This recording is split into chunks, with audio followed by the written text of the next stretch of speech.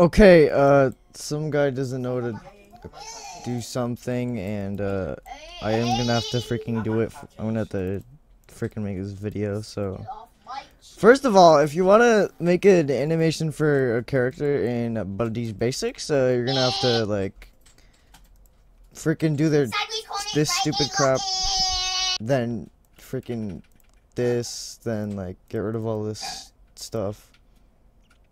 Actually, keep alpha transparency on, then custom, and then full rect, and then that that should be good. That should be good for freaking character, and then go to animation clip, and then freaking do that.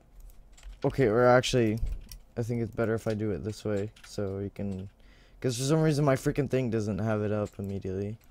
It is this instead, which is for later, but go to window, animation, then animation. And then I'd recommend dragging it up here because that's how you, that's usually how I do it. Even though I've done this like probably like two freaking times ever. So go into this and then you're gonna wanna go all the way to your stupid little funny animation what? files. I'll obviously, yeah, uh, do this. Um, animation swag. You can name it whatever, doesn't matter. Um, then you just wanna technically add property and then it should be okay well let me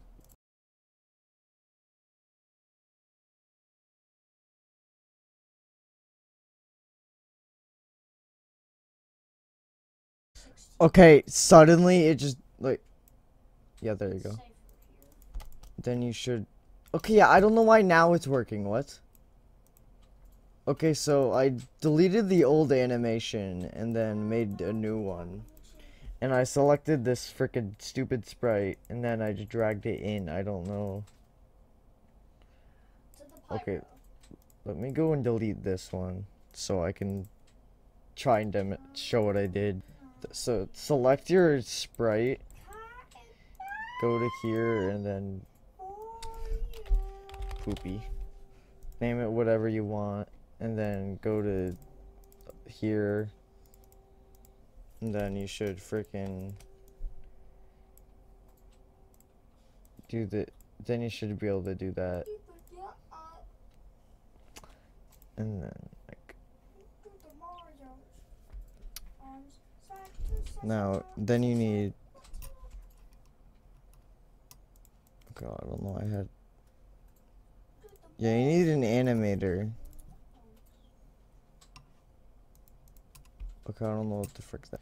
Okay, I don't know why it made those, whatever. Uh, so then just freaking make a new that.